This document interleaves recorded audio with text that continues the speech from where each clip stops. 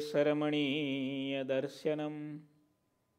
मन्दहासरुचिराननाम्बुजं पूजितं सुरनरोत्तमेर्मुदा। धर्मनन्दनमहं विचिन्तये ॐ अवतारिणे श्रीस्वामिनारायणाय नमो नमः श्रीसहजानन्दाय नीलकण्ठाय च नमो नमः श्रीगुरुचरणकमलेभ्यो नमो नमः બોલો શ્રી સ્વામિનારાયણ ભગવાનની શ્રી હરે કૃષ્ણ મહારાજની જય શ્રી ઘનશ્યામ મહારાજની જય કથા સાંભળનારા બધા જ ભક્તોને ખૂબ ભાવથી જય શ્રી સ્વામિનારાયણ શ્રી હરિચરિત્રામૃત સાગર પૂર છઠ્ઠું તરંગ છવ્વીસમું મેથાણમાં મહારાજે અદ્ભુત વાતો કરી છે, અદ્ભુત વાતો કરી છે.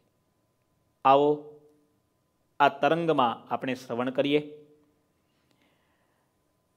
આજનો આ વચનામૃત જયંતીનો અતિ રૂડો દિવસ છે. એકાગ્ર થઈને મહારાજની અમૃતવાણી સમાન આ તરંગ એનું શ્રવણ કરીએ. શ્રી હરિ ભોજન પ્રેત કર, જેવ રહે જેહિવાર મુખ ધોઈ લીએ મુખવાસહી ચલે કરત વિચાર સંત સભા મધ્ય આયે હરે સંત સભા મધ્ય આયે હરે સિંહાસન બેઠે આય ચોપદાર બોલત ભયે જય હરિજન સહાય જય હરિ જન સહાય ભગવાનનું એક સરસ નવું નામ સ્વામીએ પાડ્યું છે. શ્રીહરિ મેથાણના ભક્તોની ભાવનાથી પ્રસન્નતાપૂર્વક થાળ જમ્યા. મુખ ધોયું, મુખવાસ લીધો અને પછી વિચાર કરતા કરતા ચાલ્યા. ચલે કરત વિચાર. તમના તમારા બધાના મનમાં સવાલ તો થતો જ હશે કે મહારાજના મનમાં શું વિચાર હશે? દાદા, થાય કે નહીં વિચાર?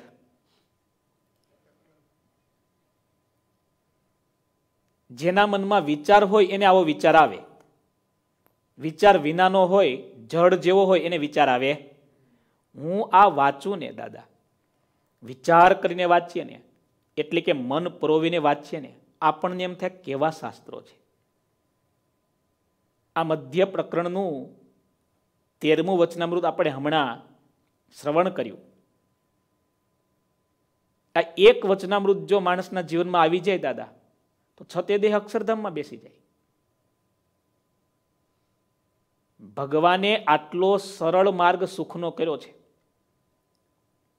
તો પણ દુર્ભાગી આ દુષ્ટ જીવ દુઃખનો દુર્ગમ માર્ગ મહેનત કરીને લે છે બોલો. સસ્તામાં મળતું સુખ ખરીદી નથી શકતો. અને મહા મોટી કિંમત ચૂકવીને દુઃખ માણસ ખરીદે છે. આના જેવો બીજો કોણ મૂરખ? શ્રીજી મહારાજ વિચાર કરતા કરતા ચાલે છે. ફટોફટ મહારાજે જમી લીધું. શું વિચાર કરે છે મહારાજ? એ આપણને બધાના મનમાં વિચાર થાય જ. હમણાં આગળ વાત આવશે. શ્રીહરિ સંતોની સભામાં આવ્યા. આવીને સિંહાસન ઉપર બેઠા અને ત્યાં તો ચોપદાર જે જે કાર કરવા લાગ્યો, કેવી રીતે? ચોપદાર બોલત ભયે, જય હરિજન સહાય. ચોપદાર જય જયકાર કરવા લાગ્યો, શું બોલે છે? ભક્તજનની સહાય કરનારા ભગવાનની જય હો. ભક્તજન સહાયક ભગવાનની જય હો. ભગવાન કેવા છે? ભક્તની સહાય કરે છે. ગુણાત્યાનંદ સ્વામી વાતોમાં કહે, શાસ્ત્રો કહે છે, ભગવાન પક્ષપાત વિનાના છે, પણ સ્વામી કે મેં જોયું? ભગવાન તો મોટા પક્ષપાતી છે. ભક્તની રક્ષા કરે, અભક્તની નહીં. ભક્તની જવાબદારી ભગવાન લીધી છે, અભક્તની નહીં. રામાનંદ સ્વામી પાસે વરદાન માગ્યા ને એમાં ભક્તની જવાબદારી લીધી. અભક્તની નથી લીધી. ભક્ત જન સહાયક છે. તમે ને હું ભગવાન પાસે અપાર સહાય માગીએ છીએ. અનેક પ્રકારની વસ્તુઓ માગીએ છીએ, અનેક પ્રકારની. દાદા, મેં ન્યુયોર્કની સત્ય ઘટના વાંચી ક્યારેક કથામાં વાત કરીશ, આજે બહુ લાંબો પ્રસંગ છે એટલે નથી લેતો. મને યાદ કરજો. ભગવાન કેટલી સહાય કરે છે. હું આ ક્રિશ્ચિયનોની સત્ય ઘટનાઓ વાંચું છું ને.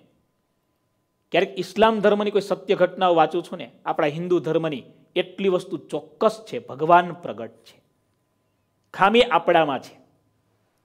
ભગવાન ભક્ત જન સહાયક છે. આપણે જો સાચા ભક્ત બનીએ ને, then we are eligible to get the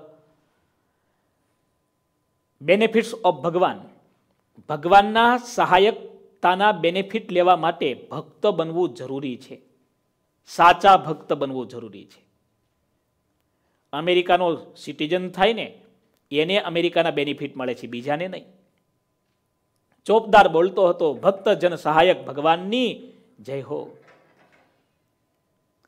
Shrihari આવ્યા, એટલે બધી સભા ઊભી થઈ ગઈ.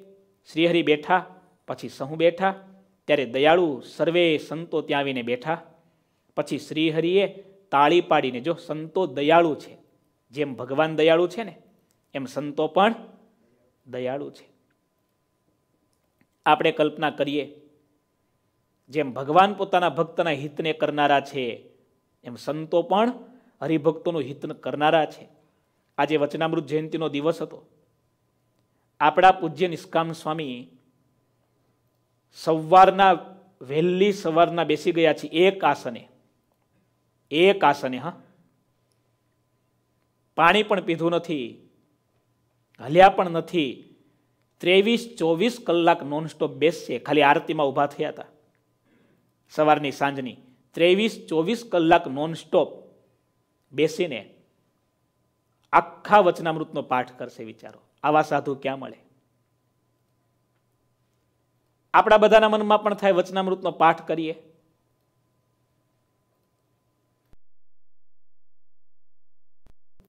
તો શ્રીજી સ્વામીએ કેટલી સરળતા કરી દીધી સવારની કથામાં કે આખો પાઠ કરવો જ જોઈએ, આખો પાઠ ન થઈ શકે તો આપણા નંદ સંતોનું વિધાન છે. પ્રથમનું પહેલું, મધ્યનું તેરમું અને અંત્યનું ઓગણચાલીસમું. આ ત્રણ વચનામૃતનો પાઠ કરે, એણે આખા વચનામૃતનો પાઠ કર્યો કહેવાય. આખા વચનામૃતનો પાઠ કર્યો કહેવાય. કોઈ બાકી ન રહી ગયું. એટલું નહીં. શ્રીજી સ્વામી આ વાત કરી તો ઘણા બધા હરિભક્તો જોબે નીકળી ગયા હતા. જોબે નીકળી ગયા, ત્યાં પાઠ કરવો હોય તો એ થાય. સંતો કેવા દયાળુ છે. શ્રીજી સ્વામીએ સવારે આ વાત કરી. સ્વામીએ જાતે આ ત્રણ વચનામૃતો રેકોર્ડિંગ કર્યા. રેકોર્ડિંગ કરીને એકે એક હરિભક્તોને મેસેજમાં મોકલ્યા. ઘણા બધા હરિભક્તોએ આજે વાંચી ન શક્યા. પણ મેસેજમાં આવી ગયા હતા વોટ્સઅપમાં આવી ગયા હતા, હરિભક્તોએ સાંભળી લીધા. કેટલા બધા રાજી થયા. ઉપર, શ્રીજી સ્વામી પર કેટલા બધા ભક્તોએ મેસેજ કર્યા. આને શું કહેવાય? દયા. શું કહેવાય? તમારી પાસેથી આ સંતોને લેવાની શું ભાવના છે? આ રેકોર્ડિંગ કર્યું, તમને વોટ્સઅપ દ્વારા મોકલ્યું. એનાથી સંતોને કયો કયો લાભ છે? કયો સ્વાર્થ છે? કેવળ ને કેવળ.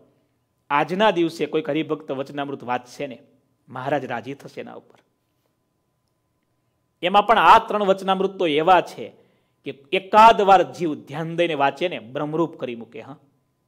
કરોડ જન્મની કસર ભાંગી નાખે એવા એક એક વચનામૃત છે. આજે વચનામૃત જયંતીનો દિવસ છે.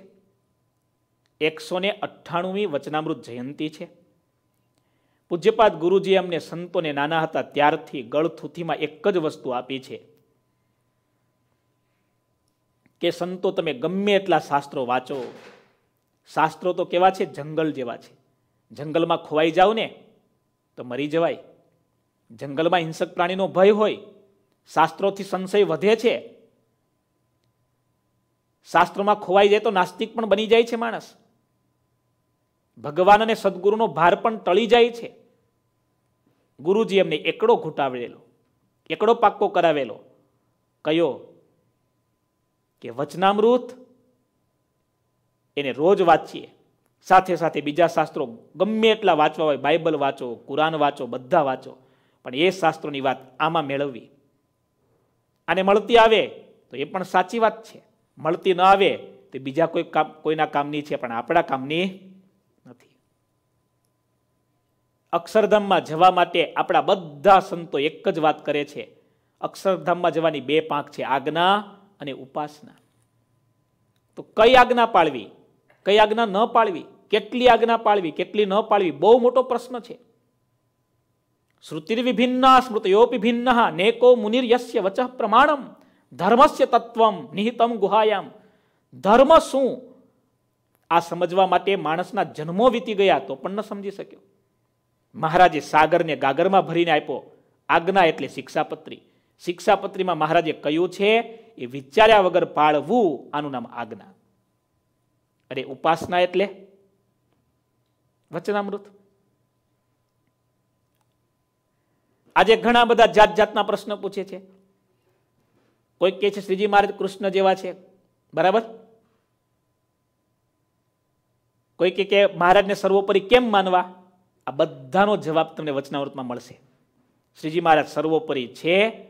શ્રીજી મહારાજે સ્વમુખે પોતાનું સર્વોપરીપણું પ્રતિપાદન કર્યું છે. અંત્યનું વચનામૃત આડત્રીસમું આજે પિનાક ભગતે બધાને શેર કર્યું છે. તમે વાંચો, સાંભળો. પૂજ્યપાદ ગુરુજીએ કથા કરી છે. ભગવાનની ઉપાસના કેવી રીતે સમજવી? આ વચનામૃત સમજાવે છે. આજે જે હમણાં આપણે સાંભળ્યું, તેજનું વચનામૃત એ તેજને વિશે જે મૂર્તિ છે, તે જ આ પ્રત્યક્ષ મહારાજ છે. એમ તમે સમજશો ને, એમાં પણ તમારું પરમ કલ્યાણ છે, બોલો. શ્રીજી મહારાજે પોતાની ઉપાસના વચનામૃત દ્વારા રજૂ કરી અને પોતાના આશ્રિતોને આજ્ઞાની વાત શિક્ષાપત્રી દ્વારા રજૂ કરી. આ બે શાસ્ત્ર જ્યાં સુધી સલામત છે ને ત્યાં સુધી આ સ્વામિયાણ સંપ્રદાય સૂર્ય અને ચંદ્રથી આ પૃથ્વી જેમ પોષણ પામે છે. પૃથ્વી સ્થિર રહી છે આ બેને લીધે. એમાં આખો સંપ્રદાય આ બેને લીધે સ્થિર છે. કયા બે તત્વ? વચનામૃત અને શિક્ષાપત્રી. આ સંપ્રદાયના સૂર્ય અને ચંદ્ર છે. સૂર્ય અને ચંદ્રને લીધે આ પૃથ્વી સ્થિર છે. પૃથ્વી પોષણને પામે છે. પૃથ્વી ફલીભૂત થાય છે. પૃથ્વીમાં વાતાવરણ બદલે છે. ઋતુઓનું ચક્ર બદલે છે. મનુષ્ય જીવન ટક્યું છે. આ બે તત્વને લીધે. ખબર છે ને? એમાં સમગ્ર સંપ્રદાય, સમગ્ર સંપ્રદાયની આખી પૃથ્વી, એમાં સુખ, માનવતા, દયા અને ધર્મ જે કંઈ બચ્યું છે ને, એની પાછળ બે તત્વ જ કારણ છે. વચનામૃત અને શિક્ષાપત્રી. આજ્ઞા અને ઉપાસના. આજે આપણા માટે બહુ આનંદનો દિવસ છે. વચનામૃત જયંતિનો દિવસ છે. એક બે નાની વાત વચ્ચે કરી દઉં. વચનામૃત એટલે અમૃતનો સાગર. મારા જીવનના અનુભવની વાત કરું. જ્યાં માણસ છે, ત્યાં મૂંઝવણો છે. દરેક માણસના મનમાં હજારો, લાખો, કરોડો મૂંઝવણ પડી છે. કરોડો, દાદા. એવું કહેવાય છે કે માણસ એક જન્મની મૂંઝવણ ટાળવા ઈચ્છતો હોય ને તો હજાર જન્મ લે ને તો પણ ન ટળી શકે. આટલી મૂંઝવણ એક જન્મમાં જ ઊભી થાય છે. તો આપણે તો કરોડો જન્મની મૂંઝવણ લઈને આવ્યા છીએ. અમેરિકાના વર્જિનિયાના કોઈ ડોક્ટર છે બહુ સારા. એના પુસ્તકનો એક ભાગ આજે હું વાંચતો હતો. સાયકોલોજી માણસના મનના એટલા બધા તરંગો છે, સમુદ્રના બુંદ જેટલા ગણીએ ને આપણે, એના કરતાં કરોડો ઘણા માણસના મનના તરંગો છે. એક એક તરંગ, એક એક મૂંઝવણ છે, સમજી લો ને. ગુરુજીની આજ્ઞાથી અમેરિકા આવવાનું થયું. આ લાઈવ કથા કરવાનું થયું. વચનામૃત તો રોજ વાંચતા, પણ કથાના નિમિત્તે આ વચનામૃત વિશેષ ઊંડાણથી ચિંતન કરીને, અધ્યયન કરીને વાંચવાનું થયું. ત્રણ સાડા ત્રણ વર્ષ આપણે કથા કરી, શરૂઆતમાં પૂજ્ય સંસ્વામી કથા કરતા હતા. એમણે ખૂબ સરસ મહેનત કરીને આ કથા શરૂ કરી. ત્યારબાદ મેં શરૂ કરી. ઘણા લાંબા સમય સુધી વચનામૃતની કથા તમે બધા ભક્તોએ પણ સાંભળી. પણ દાદા, પાંચથી સાત મારા જીવનમાં એટલા મોટા પ્રસંગો ઘટી ગયા એ દરમિયાન. હું કેવી રીતે તમને કથામાં કહી શકું? હું એમ માનું છું, આ વચનામૃત છે, એ ભગવાન સ્વામિનારાયણનું પ્રગટ સ્વરૂપ છે, બોલતું સ્વરૂપ છે. મૂર્તિ કરતાં પણ ચોક્કસ આપણે મૂર્તિનો મહિમા છે, નથી એમ નથી કહેતા. મૂર્તિ કરતાં પણ જે જ્ઞાની ને સમજુ સંતો ભક્તો છે ને એના માટે આ વચનામૃતનો મહિમા અધિક છે. કારણ કે આ વચનામૃત છે તો તમને મૂર્તિમાં જોડે છે. આ વચનામૃત છે તો તમને સાધુમાં જોડે છે. બાકી આ મૂર્તિ એ તમારે માટે મૂર્તિ જ છે, પ્રગટ નથી. એ મૂર્તિમાં પ્રગટ તત્વ કોણ લાવે છે? વચનામૃત. સબીજ શબ્દો છે આના. હું તમને બધાને નાની રિક્વેસ્ટ કરું છું આજના દિવસે. આજનો તો દિવસ બહુ મહત્વનો છે. આપણે દર વર્ષે વચનામૃત જયંતિ ઉજવીએ છીએ મંદિરમાં. દર વર્ષે, આ શનિવારે પણ આપણે સમૂહમાં બહુ સુંદર આયોજન કર્યું છે. બધા ભક્તો આવજો, વચનામૃત સાથે લાવજો. દરેક વર્ષે કંઈક આપણે ચમત્કાર જોઈએ છીએ. આપણા મિતેશ ભગત ભાદાણી, એમના પિતાજી મગનભાઈ ભાદાણી ઇન્ડિયાથી આવેલા, વચનામૃત જયંતિનો કાર્યક્રમ મંદિરમાં બેઠેલા, આપણે પેલી ચિઠ્ઠી આપવાની, પુસ્તક પણ મંદિરમાંથી આપવાના ચિઠ્ઠીમાં જે આવે વચનામૃત વાંચવાનું ખબર છે ને? એક લોટરી જેવી સિસ્ટમ છે, પણ બધાને ગમે એવી છે સિસ્ટમ. મગનભાઈ ભાદાણી, સારા સત્સંગી સત્સંગી પરિવારમાં જન્મેલા, અમદાવાદમાં એમના ઘરની બાજુમાં જ મંદિર છે. અમે એમના ઘરે ઉતારો પણ કર્યો છે. મગનભાઈએ વચનામૃત જયંતિના દિવસે ચિઠ્ઠીમાં આવેલા વચનામૃત વાંચ્યા. પહેલી વાર ધ્યાનથી વચનામૃત વાંચ્યા, હા, પહેલી વાર. સ્પર્શી ગયા વચનામૃત. એ ચિઠ્ઠીમાં કયા વચનામૃતો ઠાકોરજી નક્કી કરેલું? એમને યાદ છે. એમણે ચિઠ્ઠી મૂકી રાખી છે હજી. પછી આપણે વાત કરેલી વચનામૃતના નિયમની તે જ દિવસે એમણે નિયમ લીધો વચનામૃત વાંચવાનું. અને ત્રણ વર્ષની અંદર વચનામૃતના એકસો ને આઠ પાઠ કર્યા એમણે. આ એક પાઠ કરીને એને ખબર પડે કે એકસો ને આઠ પાઠ કેમ થાય. હવે તમે તો એક પાઠ ક્યાંક વચનામૃત હરખું વાંચ્યું ના હોય. એકસો ને આઠ પાઠ કર્યા. એવા કેટલા ભક્તોએ નિયમ લીધા છે આપણે? દરેક જયંતિએ કોઈક ને કોઈક ભક્તોએ નિયમ લીધા છે, એના જીવનમાં અનુભવો થયા છે. મહારાજનું પ્રગટપણું અનુભવાયું છે. તમને આજે નાની વિનંતી, વચનામૃત જો ન વાંચતા હો, તો વાંચજો. પૂજ્યપાદ ગુરુજીએ અમે નાના હતા, ત્યારે એક એકડો જ અમને પાક્કો કરાવ્યો છે. આ વચનામૃત રોજ વાંચો. આખું ન વાંચી શકો, તો એક ફકરો વાંચજો. એક ફકરો ન વાંચી શકો તો એક લીટી વાંચજો. પણ વચનામૃત દિવસમાં એકવાર વાંચવું આવું નિયમ રાખો. આ અમૃત છે. આપણા અમુક સત્સંગી એવા છે, જે ક્રમથી નથી વાંચતા, સિલેક્ટેડ વચનામૃત વાંચે છે. એમ પણ વાંચી શકો. અમુક હરિભક્તો એવા પણ છે એક બે હરિભક્તો, જેને એક કે બે વચનામૃત ગમે છે, એક બે વચનામૃત કેટલા કેટલા સમયથી વાંચે છે. એમ પણ અમૃત છે. આ અમૃતનું એકાદ બુંદ પણ આપણા મોઢામાં, આપણા કાને રોજ જાય, આવું કરજો તમે. આટલું નિયમ રાખજો. આપણે લોયાધામના છીએ. લોયાધામના ગૌરવવંતા ઇતિહાસની અંદર સંપ્રદાયનો પ્રાણ જેને કહેવાય, આ સંપ્રદાયનો પ્રાણ જેને કહેવાય, વચનામૃત. આ વચનામૃતનું સંપાદન લોયામાં થયું છે. લોયાના શાકોત્સવને બધા જાણે છે, પણ વચનામૃત જેવો મહાન ઐતિહાસિક સંપ્રદાયનો પ્રાણ ગ્રંથ એનું સંપાદન લોયામાં થયું. બહુ ઓછાને ખબર છે. એટલા માટે પૂજ્યપાદ ગુરુજીએ આ મૂર્તિ તૈયાર કરાવી. આપણે જોઈએ છીએ ભગવાનના એકાંતિક સત્પુરુષો એના માટે પ્રગટ થાય છે. લોયાધામ કંઈક ઝંખતું હતું. ભક્તરાજ સુરા ખાચર કંઈક ઝંખતા હતા. આટલું મોટું તીર્થધામ પણ સંપ્રદાયમાં સુસુપ્ત અવસ્થામાં હતું. પૂજ્યપાદ ગુરુજીએ આજે લોયાધામ લોયાધામ લોયાધામ કરી દીધો. ચારે બાજુ. શાકોત્સવ છે, એ લોયાનો ઇતિહાસ છે. પણ એવો જ મહાન ઇતિહાસ, વચનામૃતનું સંપાદન, વિદ્વાન સંતોની પાઠશાળા ત્યાં હતી. ભણનારા સંતો ત્યાં રહેતા, સત્સંગી જીવનનું પહેલું પારાયણ લોયામાં થયું છે. વચનામૃતનું સંપાદન લોયામાં થયું છે. વચનામૃત ગ્રંથ પોતે સાક્ષી છે. લોયાનું વચનામૃત સાતમું તમે વાંચો. આપણે લોયા ધામના છીએ. આ ચિત્ર પૂજ્યપાદ ગુરુજીએ તૈયાર કરાવ્યું. આજના દિવસે એટલા બધા મેસેજ સર્ક્યુલેટ થઈ રહ્યા છે. દરેક સંસ્થાઓ, દરેક સારા સંતો, વચનામૃત જયંતિ છે, એકસો અઠ્ઠાણુંમી છે, વચનામૃતનો ઇતિહાસ, પણ વધારેમાં વધારે આ ચિત્ર ચારે બાજુ સર્ક્યુલેટ થઈ રહ્યું છે આજે. ભગત હોય તો ઓનલાઈન બતાવજો તમે. આ ચિત્ર આજે વધારેમાં વધારે, પણ કારણ કે વચનામૃતનું સંપાદન લોયામાં થયું એ વચનામૃતમાં જ છે વાત. પણ ચિત્ર દ્વારા એ રજૂ થયેલી જ નહીં. કોઈ ચિત્ર એ તૈયાર કર્યું જ નથી. આ પ્રથમ ચિત્ર એટલું આબેહૂબ પૂજ્યપાદ ગુરુજીએ તૈયાર કરાવ્યું અને એટલું બધું એ પોપ્યુલર બન્યું છે. પૂજ્યપાદ ગુરુજીએ ગઢપુરના ખૂબ સારા આર્ટિસ્ટ ફતેહસિંહ વાળા પાસે આ ચિત્ર તૈયાર કરાવ્યું. અમે સંતો સાક્ષી છીએ. પૂજ્યપાદ ગુરુદેવના મનમાં એક જ ભાવના છે. મૂળ સંપ્રદાય એના મૂળ સિદ્ધાંતો જેટલા જાગૃત થશે ને એટલા મહારાજ રાજી થશે. તમે ને હું લોયાધામના છીએ.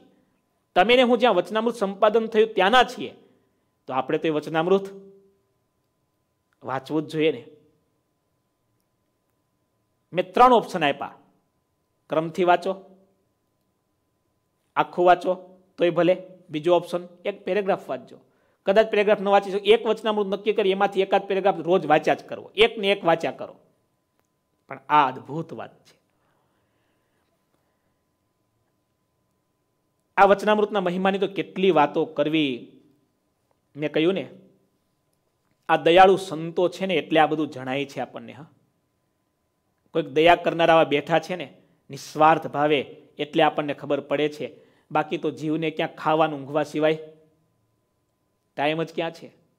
બોલો, અહીંથી રિલે થાય ને તમારા ઘર સુધી કથા પહોંચે ને ત્યારે તમે સોફામાં બેઠા બેઠા, ડાઇનિંગ ટેબલ બેઠા બેઠા બેઠા આ સાંભળો સાંભળો છો, બરાબર? આ સંતોની દયાની તો શું છે? સાંભળો, દયાળુ સંતો આવીને બેસી ગયા. હજી મહારાજના મનનો વિચાર તો બાકી છે, દાદા આપણે. આ તો આપણા વિચારો રજૂ કર્યા હજી. શ્રીહરિએ તાળી પાડીને સર્વેજનને ધૂન બોલાવી. પછી ધીર, ગંભીર અને મધુર શબ્દથી બોલ્યા. આખા વર્ષની ચોવીસ એકાદશી છે. તેમાં પણ ભાદરવા સુદ એકાદશી એટલે જલ ઝીલણી એકાદશી. અષાઢ સુદ એકાદશી એટલે દેવ પોઢી એકાદશી, નિયમની એકાદશી અને કારતક સુદ એકાદશી એટલે પ્રબોધિની એકાદશી. આ ત્રણ એકાદશી વર્ષમાં મુખ્ય એકાદશી ગણાય છે. તેમાં પણ સોરી તેમાં આ ત્રણ મેં કહી તે સહુથી શ્રેષ્ઠ એકાદશી છે. અમારા જે હરિભક્ત કહેવાતા હોય, તેમણે તે ત્રણ એકાદશીના દિવસે ફરાળ પણ કરવું નહીં. હવે મહારાજના મનમાં જે વિચાર હતો એ નીકળે છે બહાર. સાંભળજો. બધી જ એકાદશીએ ફરાળ કરવું નહીં, તે ઉત્તમ વ્રત કહ્યું છે. અને તે વ્રત જાગરણ સાથે કરવું, આખી રાત ઊંઘવું નહીં. પણ હરખથી કથા વાર્તા અને કીર્તન કરવા, તેથી મહાપાતક પણ નાશ કરે છે. એકાદશીનું મહાત્મ્ય ગ્રંથોમાં અપાર કહ્યું છે. કોઈ એક એકાદશીનું વ્રત યથોક્ત રીતે કરવામાં આવે, તેને કરોડો યજ્ઞનું ફળ મળે છે. કોઈ હરિભક્ત નિરાહાર ઉપવાસ કરવામાં અશક્ત હોય, તો તે એકે એકાદશી ન કરી શકે, તો તેણે ફલાહાર કરવો. પરંતુ તેણે પણ પ્રથમ કહેલી ત્રણ એકાદશીએ તો ફરાળ કરવું જ નહીં. અને એકાદશીના દિવસે અન્ન ખાવું તેને માંસ ખાવાને તુલ્ય કહ્યું છે. ભગવાને કહ્યું કે, કહ્યું છે જે જે મનુષ્ય શ્રીજી મહારાજ પોતે જ વાત કરે છે, પણ શાસ્ત્રમાં ભગવાનના વચન પણ આ છે, શિક્ષાપત્રી ભાષ્યમાં પણ આ વાતનો ઉલ્લેખ છે. ભગવાને પણ કહ્યું છે જે જે મનુષ્ય અજાણતા પણ એકાદશીને દિવસે અન્ન ખાય છે, તે મને છાતીમાં બાણ મારે એવું વસમું લાગે છે. એકાદશીના દિવસે કાચા અન્નનો સ્પર્શ પણ કરવો નહીં. રોગને લીધે જે પરાધીન થઈ ગયો હોય, તેણે એકવાર અનાજ ખાવું. અતિ રોગિષ્ટ હોય. પ્રાણ બચે નહીં એવી પરિસ્થિતિ એના માટે, હા. અને જે અશક્ત હોય, તેણે ફરાળ કરવું. પણ પ્રથમ કહી તે શયની, પરિવર્તિની અને પ્રબોધિની. આ ત્રણ એકાદશીએ તો એકટાણું કે ફરાળ કશું કરવું નહીં.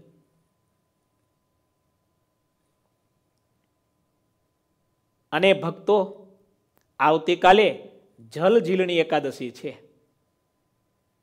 હવે મહારાજના મનનો આ વિચાર. તેમાં ફરાળ કરવાનું નથી. માટે દરબારો, તમારે જેને જમવું હોય તે ઉઠો. અત્યારે ઉઠો. બીજા બધા હરિભક્તો ભાઈ ભાઈ, વૃદ્ધ કે બાળકો બધા જમવા જાઓ. સંતોમાં પણ કોઈ વૃદ્ધ કે નાના બાળ હોય તેઓ પણ જમી લો, તો ચાલશે. આજે જમી લો, અત્યારે બરાબર જમી લો, પણ આવતીકાલે ઉપવાસ ફરજિયાત છે. શ્રીજી મહારાજને બધા પાસે ઉપવાસ કરાવવો છે. આ મહારાજ વિચાર કરીને આવતા હતા. એના માટે શ્રીજી મહારાજે આટલી બધી વાતો કરી. આપણે આટલી બધી આજે વાતો શું કામ કરી? કે ભાઈ, બધા પાસે વચનામૃત. બોલો. વચાવવું છે. દુઃખની વાત છે. અમેરિકામાં અત્યારે આપણા લોયાધામ પરિવારમાં આપણે ઘણા વર્ષોથી ફરીએ છીએ. મોટાભાગના હરિભક્તો એકાદશી કરતા થઈ ગયા છે.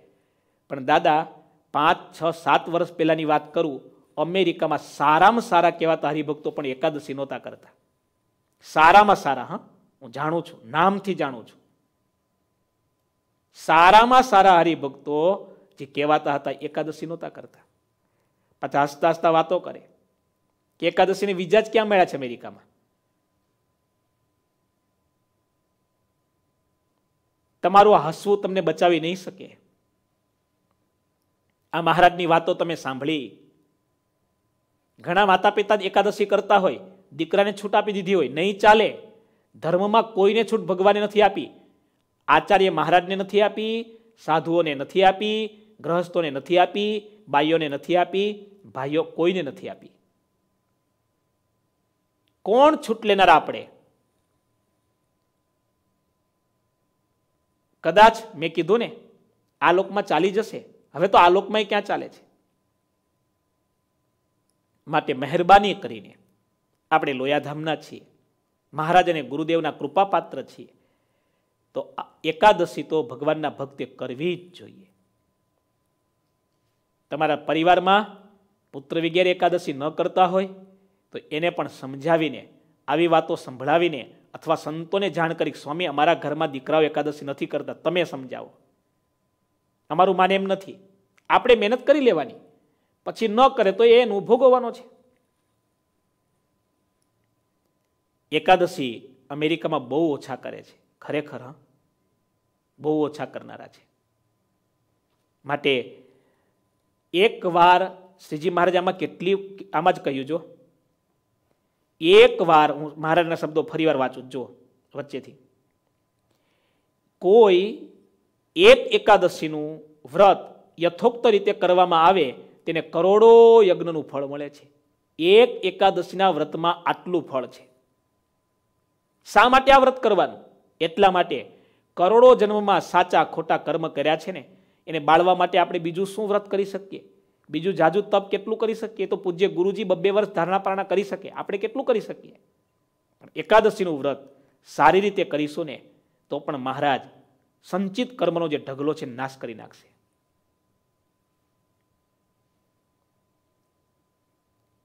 પૂજ્યપાદ ગુરુજીએ એકાદશી મહાત્માની કથા કરી છે. એકવાર તમે સાંભળજો. તમારા મનના ઘણા બધા પ્રશ્નો સોલ્વ થઈ જશે.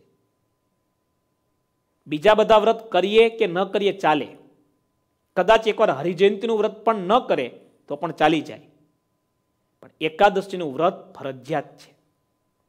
એક એવો સમાજ આખો છે, ભાઈ આપણે તો સ્વામિનારાયણ ભગવાનના ભક્ત છીએ. આપણી ઉપાસના પાકી. આપણે મહારાજનું વ્રત કરાય, હરિજયંતી કરવાની એકાદશી નહીં કરવાની, કોઈ કરતા હોય તોડાવી નાખે છે. તમે ઉપાસના વિનાના છો.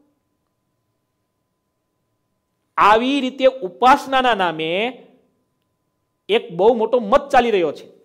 દાદા અને લોકોને સમજાવે છે જાહેરમાં કે આપણે તો ઉપાસનાવાળા, આપણે મહારાજનું વ્રત કરાય, સર્વોપરી ઉપાસના. ઉપાસનાના નામે શ્રીજી મહારાજના પગ ઉપર ઘા મારે છે આ બધા. આવા લોકોએ આ સંપ્રદાયના પાયા છે ને ખલાસ કરી નાખ્યા.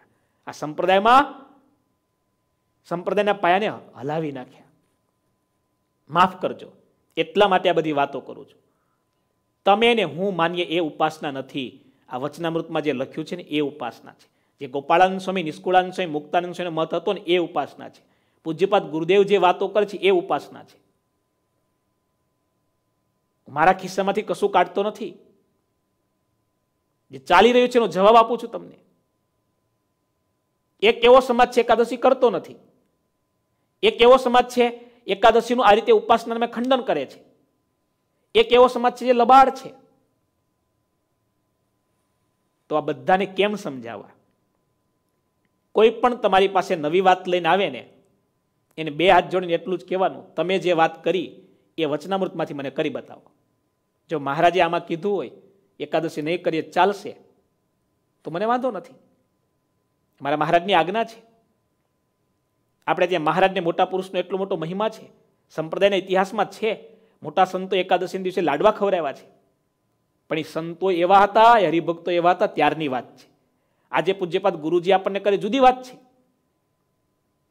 પણ એનો વાદ લઈને તમે કે હું જો કરવા જઈએ ને, તો ચકલીનું મોત ધેફે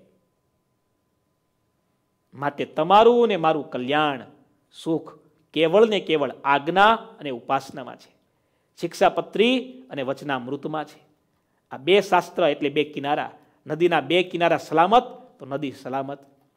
આપણા બે કિનારા સલામત, તો આપણું આત્યંતિક કલ્યાણ સલામત. શ્રીજી મહારાજના મનમાં આ વિચાર હતો, બોલો. હવે સમજાણું તમને? ફટોફટ જમી લીધું ચડું કરી લીધું, મહારાજને થયા દરબારો તો બધા છે ને, ખાઉધરા છે. આવો શબ્દ મહારાજે વાપરો છે. એટલે વાપરી શકું. એનો દિવસમાં કેટલી વાર જોઈએ?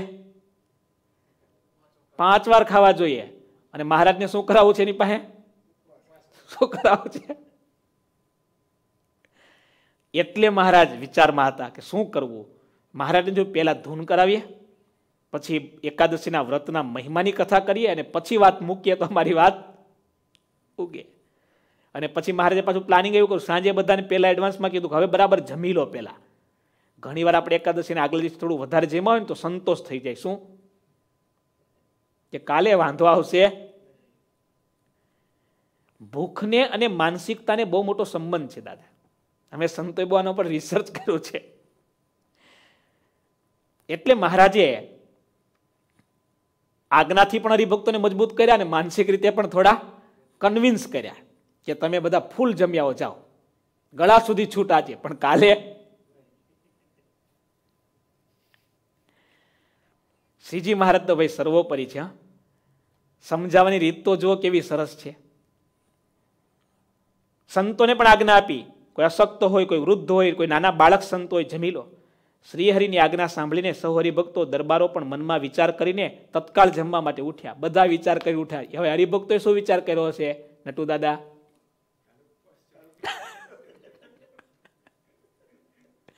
હવે એ તો બધા જાજાના જાજા જુદા જુદા વિચારો હોય એટલે બધા તો હવે રજૂ કરવા.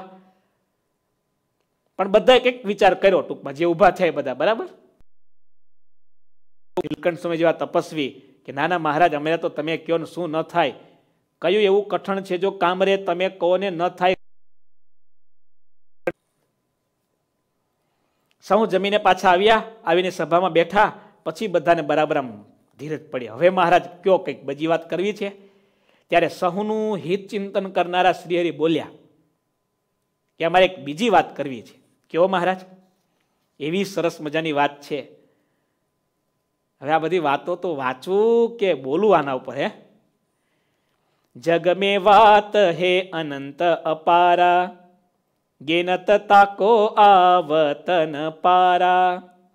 સતસંગ સમ નહીં વાત હે કોઈ વેદ પુરાણ કો મત હે સોઈ. જગ में વાત હે અનંત અપારા. સમજાય એવું છે. આપણા આદિગુરુના શબ્દો છે ને આ તો. આધારણ સ્વામીના. જગ મે વાત હે અનંત અપારા. મુક્તાનંદ સ્વામી બોલ્યા છે.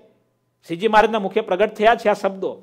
દિવ્ય રૂપે આધારાનંદ સ્વામી સાંભળેલા છે. અને લખે છે. શ્રીજી મહારાજે વાત કરી. શું વાત કરી? મેથાણ ગામમાં, સભામાં મહારાજ એમ કહે છે, આ જગતમાં અનેક પ્રકારની વાતો છે. એટલે કે અનેક પ્રકારની માન્યતાઓ છે. અનેક પ્રકારના સિદ્ધાંતો છે. દરેક માણસે પોતપોતાનો એક સિદ્ધાંત બાંધી રાખ્યો હોય, માની રાખ્યો હોય. અમે ઓસ્ટ્રેલિયામાં હતા. હું અને સુખસ્વામી. એક હરિભગત ત્યાં પધરામણી જતા હતા. એક હરિભગત ગાડી લઈને સેવામાં હતા. બે હરિભગત ને બે સંતો. બરાબર? એમાં નવા ગુણભાવી હરિભક્તો બે હતા. ગાડી ચલાવનારા એની પાછળ બીજા હરિભગત બેઠા હું સુખ સમય આગળ પાછળ બેઠેલા. એટલે પેલા ગાડી ચલાવનારા હરિભગત હતા, એને વાત છેડી કે, સ્વામી, હવે આ મંદિરમાં બધું બગડી ગયું છે. ઠાકોરજીને અડધો કલાક થાળ ધરાવી રાખીને પડદો પાડી દે આ બધું ક્યાં હોય? તે પાછળ બેઠેલા એ થોડા ડાયન સમજોરી ભગત. એણે કીધું, ભલા માણસ, આ બધું પાખંડ નથી, આ તો પહેલેથી જ આવું ચાલે થાળ ધરાય ત્યારે પડદો પાડવાનો જ હોય ને, કે ખુલ્લે થોડું ધરાવવાનું હોય. ત્યારે પેલો શું કે ખબર? શિક્ષાપત્રીમાં લખ્યું છે કે થાળ ધરાવતે પડદો ના પડાય. મને કે સ્વામી, લખ્યું છે કે નહીં? હું સુખ સ્વામી, એટલું હસીએ તમને શિક્ષાપત્રીને હજાર ગાવનું છેટું. રહેવા દો શિક્ષાપત્રીની વાત તમે. શિક્ષાપત્રીનો અપરાધ ન કરો. બોલો. શિક્ષાપત્રીમાં લખ્યું છે કે થાળ ધરાવતી વખતે પડદો નહીં પાડવાનો. અરે દાદા, આ તો ઠીક વાત. તમને એમ થાય કે સ્વામી ગપ્પુ, એકદમ સાચી વાત કરું. રેકોર્ડિંગ નથી મારી પાસે, એટલું જ બસ. અમે એક વડોદરામાં બહુ મોટી સભામાં ગયા. સંપ્રદાયના એક સારા વિદ્વાન, જ્ઞાની માણસ. હું નામ દઉં તો આ અમેરિકાના કેટલા બધા હરિભક્તો ઓળખે એવા સાધુ. મેં કાલે કહ્યું હતું કલ્યાણ કણિકામાં પૂજ્યપાત ગુરુજીની પણ વાત છે, શાસ્ત્રની પણ વાત છે. ગમે તેવો મોટો જ્ઞાની હોય, પણ સ્વાર્થ જાગે ને, મને જ્યારે એમ થાય મારે હરિભક્તો પાસે ખિસ્સામાંથી પૈસા કઢાવા છે, ત્યારે મારી વાતમાં આડંબર, દંભ, પાખંડ બધું ભળી જાય દાદા. વાત સાચી ખોટી? લેવાની ભાવના આવે ને ત્યારે દેવાની ભાવના ખલાસ થઈ જાય. પછી તો શું કરું કેમ કરું, તો આ લોકો કાઢે. સાચી વાત ને? વડોદરામાં લગભગ બેથી પાંચ હજાર માણસોની સભામાં એક જ્ઞાની, એક વિદ્વાન સંત, બરાબર સંપ્રદાયના જાણકાર સંત, નામદૂત કેટલા બધા ઓળખે, એણે શિક્ષાપત્રીનું વચનામૃતને નામે એવી અવળી વાતો કરી. મને એમ થયું અરર અરર અમે તો નાના સંતો ત્યારે. આપણને એમ થાય ઢાંકણીમાં પાણી લઈને ડુબાડી દેવો જોઈએ. તારે વાત જે કરવી તે કર. વચનામૃતના નામે શું કામ કરે છે? શિક્ષાપત્રીના નામે શું કામ કરે છે? કયા વચનામૃતમાં લખ્યું છે? એને મોઢા ઉપર અમે ત્યારે નાના હતા, બાકી કેવું જોઈએ? આમાં કાઢીને બતાવ. કયા વચનામૃતમાં છે? માફ કરજો, તમને બધાને કહું છું. આજે ખુલ્લેઆમ બીજી વાત કહી દઉં. કોઈ પણ હરિભક્તો ઘણા કે સ્વામી વચનામૃતમાં બહુ એડિશન થઈ ગયા. ફલાણી જગ્યાએ બસો બોતેર છે, કોઈ જગ્યાએ આઠ, પ્રથમનું આઠમું બહુ લાંબુ છે, કોઈ જગ્યાએ ટૂંકું છે. વડતાલ દેશમાંથી પ્રકાશથી થયેલું વચનામૃત જ ઓરિજિનલ છે. એ સિવાયના જેટલા વચનાવૃત્તો જુદા જુદા મળે છે એ બધા પાછળથી સમયાંતરે ફેરફાર થયેલા છે. માટે માન્ય શ્રીજી મહારાજ, મુક્તાનંદ સ્વામી, ગોપાળાનંદ સ્વામી, એમણે જે મોહર છાપ મારેલું આ વચનામૃત છે. આનો બહુ લાંબો ઇતિહાસ છે. એમાં આપણે જવા કરતા મહારાજની અમૃતવાણી છે, બસ એને તમે સમજો. પ્રશ્ન હોય ને જાજુ જાણવું હોય તો ફોન કરજો. બિભેત્યલ્પ શ્રુતાદ વેદ મામયમ પ્રતરિષ્યતિ. વેદને સૌથી વધારે ડર કોનો હતો? અજ્ઞાની માણસનો. વેદ સત્શાસ્ત્રના અર્થ અવળા કર્યા, પંડિતોએ પાપ માર્ગે જઈને. અમદાવાદ પતંગ વડોદરા વાળો ન કાપે. કોણ કાપે? અમદાવાદ વાળો ગોવર્ધન સોસાયટીની પતંગ અલકાપુરી વાળો કાપવા ન આવે. કોણ કાપે? ગોવર્ધન સોસાયટી વાળો બસ એવી જ રીતે વૈદિક ધર્મનું પતન કર્યું હોય ને તો વિદેશી લોકોએ નથી કર્યું. કોણે કર્યું? વેદના પંડિતો હતા. એમાં સ્વાર્થ જાગ્યો. વેદની વાતનો અર્થઘટન જુદું કર્યું. માંસ ખાવાની ઈચ્છા હતી. યજ્ઞ નામે વેદમાંથી માંસ કાઢ્યું. હિંસા પ્રગટાવી વેદના નામે. આવા લોકોએ વૈદિક ધર્મનો ખલાસ કર્યો. વેદ સત્શાસ્ત્રના અર્થ અવળા કર્યા. પંડિતોએ પાપ માર્ગે જઈને એમાં આજે આપણા સંપ્રદાયમાં પણ જે ચારે બાજુ આઘું પાછું ચાલી રહ્યું છે, એમાં વધારે વધારે જવાબદાર કોણ છે? અંદરના તત્વો. અને એ કેવા તત્વો? સ્વાર્થી જેને પોતાનું જ કરવું છે, પોતાનું ખિસ્સું ભરવું છે, સામેવાળા પાસે કઢાવી લેવું છે, માલ લઈ લેવો છે. એને કલ્યાણની વાત જ નથી. ખાલી શું વાત છે? તારું જે થવું હોય તે થાય. મારી શિયાળીને ટાઢતો જાય આના જેવું છે. લોભી ગુરુ, લાલચુ ચેલા, દોનો નરક મેં ઠેલમ ઠેલા. લાલચુ સમાજ હોય ને ત્યાં ધુતારા ભૂખે મરે. તમારે લાલચ છે કે ભાઈ અમને મોટા સ્ટોર મળી જાય આશીર્વાદ આપે તો હે? માફ કરજો. સાગરમાં આગળ વાત આવી હતી. સાગરમાં આગળ વાત આવી હતી જેણે કેવળ કલ્યાણની જ આશા હોય એ જ આ સત્સંગને પચાવી શકે છે. આપણે તો કેટલી બધી આશા છે, પૂછી લઈએ આપણી જાતને. સત્સંગનું તો નામ નહીં હોય આપણી લિસ્ટમાં. પછી આ સત્સંગ પચે. આ સત્સંગની વાતો ઉતરે. શિક્ષાપત્રીના નામે જાહેરમાં એવી ચિત્ર વિચિત્ર વાતો કરે છે. હમણાં એક, મારે ક્યાં બધા મૂર્ખાઓના આટલે એટલા બધા મૂર્ખાઓ સંપ્રદાયમાં મશહૂર થઈને ફરનારા મોટા વિદ્વાનો, પંડિતો, આજે મારે કહેવાય નહીં આમ. બોલો, એણે અર્થઘટન કર્યું અજયભાઈ જાહેરમાં અર્થઘટન શું કર્યું? કે શ્રીજી મહારાજે પૈસા રાખવાના ના પાડી અડવાની ક્યાં ના પાડી છે? અને પાછું દ્રષ્ટાંત આપ્યું શ્રીજી મહારાજે બ્રહ્માનંદ ખોબો ભરીને પૈસા આપ્યા વડતાલનું મંદિર કરવા. આપ્યા છે. નથી આપ્યા એમ નથી કહેતો. આપ્યા છે. પણ એ જ ભગવાન સ્વામીને આજ્ઞા પણ કરી છે. શું કરી છે? કે હવે તમે સ્ત્રી કે ધન એનો અષ્ટ પ્રકારે ત્યાગ રાખજો. અષ્ટ પ્રકારમાં શું આવી ગયું? તો તો તમે એમ કહો છો કે શ્રીજી મહારાજે રાખવાની ના પાડી છે, અડવાની નહીં. તો સ્ત્રીને પછી અડો. એવું જ થયું ને? સંપ્રદાયના જ્ઞાની સાધુઓ આવી વાતો કરે ને ત્યારે આપણને એમ થાય કે આ કોઈકને લક્ષ્ય કરીને વાત કરવા જાય ને, એની વાતમાં ફેર પડી જાય. બોલો. પોતાનો સ્વાર્થ સિદ્ધ કરવા જાય ને માણસ, તેની વાતમાં ભ્રમ ઉત્પન્ન થાય, ભ્રમ. એક બહુ સારા સાધુ અમેરિકન એરપોર્ટ પર ડોલર ગણતા હતા હાથમાં ને હરિભગત પગે લાગીને પૂછે, સ્વામી, તમે સાધુ ને આ પૈસા હાથમાં? કેમ? પણ મહારાજે ના નથી પાડી? એ હરિભગત પણ અમેરિકામાં છે. એણે જ પોતે જ મને વાત કરેલી. પેલા સ્વામી કે શ્રીજી મહારાજે પૈસા રાખવાની ના પાડી પૈસાને અડવાની ના પડી. આ તો ડોલર છે. ડોલરને તો અડાય જ ને, લો. તમે તર્કથી આ દુનિયામાં છૂટી જશો. પણ ભગવાન પાસે નહીં છૂટી શકો. એટલા માટે હું કહું છું, વારંવાર કહું છું. આ અદ્ભુત મહારાજની વાતો છે. જુઓ જગ મે વાત હે અનંત અપારા. કોઈ પણ કોઈ પણ પ્રકારની તમને વાત કરે, હાથ જોડી, ત્રીજું માથું નમાવી, એટલું જ કહેવાનું, તમારી વાત તમારી પાસે રાખો. મને વચનામૃતમાંથી વાત કાઢી બતાવો. અથવા શિક્ષાપત્રીમાંથી કાઢી બતાવો. તો તમારી વાત માથા ઉપર, બાકી તમારા ઉપર. બરાબર ને દાદા? તમારી વાત માથા ઉપર, બાકી તમારા ઉપર. તમે જાણો તમારી વાત જાણે. આ તો દુનિયા છે, બધાની વાત ચાલે. હે, ઝુકતી હે દુનિયા? બોલો. ઝુકાને વાલા ચાહીએ, નિર્મલ બાબાનું ચાલે તો તમારું તો. હે? બોલો.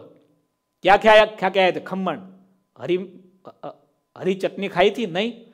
હરી ચટણી ખા લેના તીન દિન તક. તુમ પાસ હો જાઓગે બોલો. ચાલે છે કે નહીં? બધું ચાલે આ દુનિયામાં. આ દુનિયામાં ચાલશે ઉપર કશું ચાલવાનું નથી, એટલું યાદ રાખજો. અને હવે તો આ દુનિયામાં નથી ચાલતું. ગોડમેનો જેલની અંદર બેઠા છે. આખી દુનિયા અત્યારે પીલાઈ રહી છે, પીસાઈ રહી છે. જોવો છો ને તમે. ચારે બાજુ આતંકવાદે ભરડો લીધો છે. કીડીની જેમ માણસો મરી રહ્યા છે. કેમ? આ બધાની પાછળ જવાબદાર કેવળ ને કેવળ માણસ પોતે છે. કોણ છે? દુઃખના દરેક દસ્તાવેજ ઉપર માણસના પોતાના હાથના જ હસ્તાક્ષર હોય છે. જાગો! હું શું કહું છું તમને બધાને? જગ મે વાત હે અનંત પારા, ગેનત તાકો આવતન પારા. કેટલી વાતો ગણવી? એનો કઈ પાર આવે એમ છે એટલે મહારાજ કે એ બધી વાતો કરવા કરતા શાસ્ત્રોમાં એવું લખ્યું, જે ટૂંકું અને સસ્તું એ સમજાવવું એટલે છોકરાને ખોટું બહુ સમજાવવું નહીં. એટલે મેં ગઈકાલે પણ કહ્યું હતું, છોકરાને એટલું કેવું એ ખોટું કરવું નહીં. બરાબર? તને લાગે ખોટું છે? દરેકનો આત્મા જાણે જ છે. દરેકનો આત્મા. આત્મા એ પરમાત્માનો અંશ છે. એટલે આત્માને ખબર જ છે પાપ અને પુણ્ય શું કહેવાય. દીકરાને એટલી જ સલાહ આપો, બેટા, ખોટું હોય ને, જોવામાં, બોલવામાં, ચાલવામાં, ખાવામાં, પીવામાં જે કંઈ, એનાથી ડરજે અને બીજું, જે ખોટું કરતો હોય ને, એનાથી ડરજે ઘણીવાર તું સાચો હોઈશ, પણ ખોટાની બાજુમાં બેસી જઈશ ને. હે? તો કહેવાય છે ને, માલ ખાય માકડું અને માર ખાય બકરું. ખબર છે ને વાત? માલ ખાય માકડું અને માર ખાય બકરું. આના જેવું છે. ખોટાની બાજુમાં બેસવું એ પણ બહુ મોટું પાપ છે. એટલા માટે બે જ વસ્તુ શીખવાડવા જેવી છે. બાકી એને સાચું જ શીખવાડો. કયું સાચું? કે બેટા જો શ્રીજી મહારાજ શું કીધું? જગમાં જાત જાતની જુદી જુદી વાતો છે, અનંત અપાર છે, ગણતા પાર આવે એમ નથી, કેટલી વાતો કરવી? એના કરતા. સતસંગ સમ નહીં, વાત હે કોવું વેદ પુરાણ કો મત હે સોઈ. સત્સંગ જેવી બીજી કોઈ વાત નથી. મહારાજ એમ બોલે છે, આ વાત અમે કરીએ છીએ એમ નહીં. વેદ પુરાણ કો. શ્રીજી મહારાજ કોઈ પણ વાત કરતા ભગવાન હતા, છતાં પણ વેદને સાથે રાખતા. પુરાણોને સાથે રાખતા. વેદ અને પુરાણનો પણ આ જ મત છે. કયો? કયો? સત્સંગ જેવી બીજી કોઈ શ્રેષ્ઠ વાત નથી. કેમ? સત્સંગ કે સુખ મિલત અનંતા.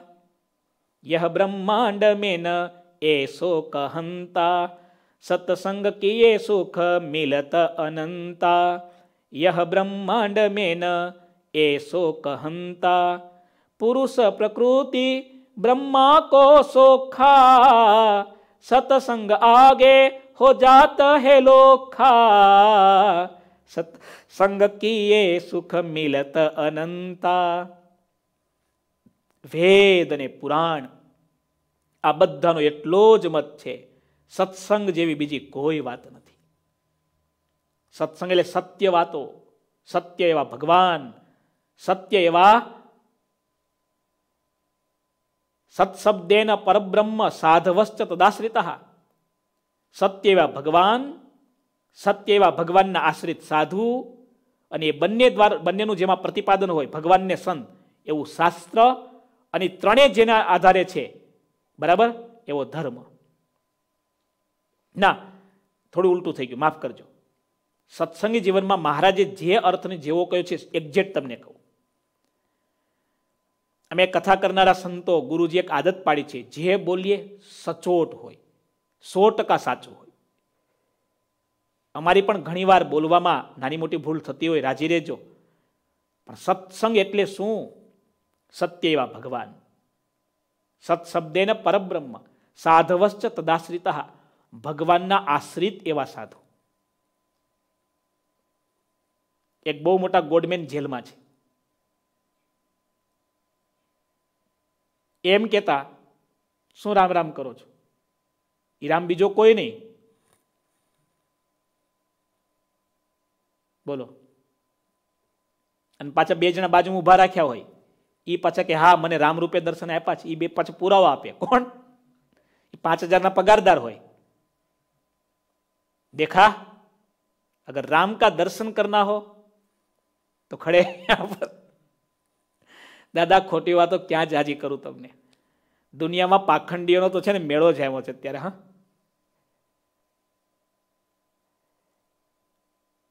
સત્ય એવા ભગવાન અને સત્ય એવા ભગવાનના આશ્રિત પાછા સાધુ.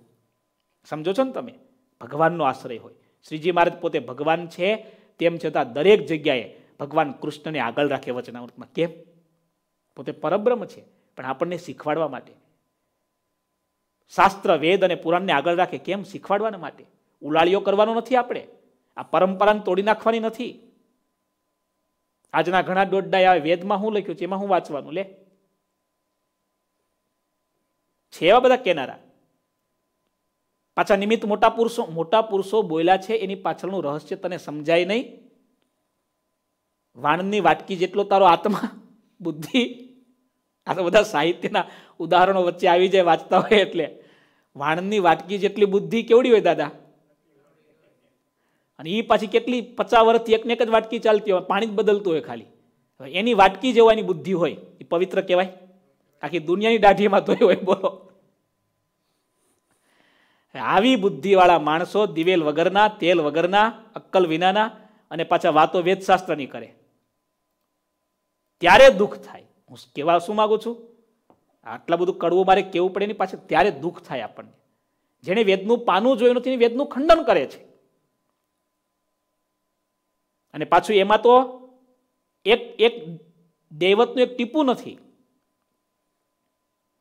ત્યારે કહેવાનું મન થાય. સત્ય એવા ભગવાન, સત્ય ભગવાનના આશ્રિત સાધુ, એ બંને દ્વારા જે કહેવામાં આવે એવો ધર્મ. ભગવાન કહે છે પણ ધર્મ છે, ભગવાનના આશ્રિત સાધુ કહે છે પણ ધર્મ છે. એકાદશીનો દિવસ હોય, ઉપવાસ કરવો જ જોઈએ. પણ મહાન બ્રહ્મનિષ્ઠ સાધુ એને કહે, ભગતલો આ પ્રસાદી લાડવા આપે ને, તમે જમી લો ને. એકાદશીનો ઉપવાસનું ફળ મળી ગયું લાડવા જમીને પણ. કેમ? આ સત્સંગી જીવનનું નિર્ણય છે શ્રીજી મહારાજે દિવાળીના દિવસોમાં સત્સંગ દીપમાલા પ્રગટાવી છે. સત્સંગી જીવનમાં શ્રીજી મહારાજના શબ્દો છે, સત્ય એવા ભગવાન એક, સત્ય એવા ભગવાનના આશ્રિત સાધુ બે એ બંને દ્વારા કહેવામાં આવતો એવો જે ધર્મ ત્રણ. અને આ ત્રણેયનું જેમાં પ્રતિપાદન હોય એવું શાસ્ત્ર. આ ચાર વસ્તુ એનો મન, કર્મ, વચને કરીને સંગ કરવો, એનું નામ સત્સંગ. બોલામાં ક્યાંય મિસ્ટેક થાય એવું છે દાદા? ખબર ના હોય તો પછી બહુ મિસ્ટેક થઈ જાય. લખી રાખો જીવનમાં. સત્સંગ જેવી કોઈ વાત નથી. વેદ અને પુરાણનો આટલો જ મત છે. કારણ કે સત્સંગ કરવાથી અનંત સુખ મળે છે. આ બ્રહ્માંડમાં સત્સંગ જેવું બીજું કંઈ પણ સુખ જ નથી. પુરુષ પ્રકૃતિનું અને બ્રહ્માનું સુખ પણ સત્સંગના સુખ આગળ લુખ્ખું થઈ જાય છે. સત્સંગની મહારાજે અદ્ભુત વાતો કરી છે. પણ અઢાર ચોપાઈ થઈ છે. હજી તો બહુ લાંબી વાત બાકી છે.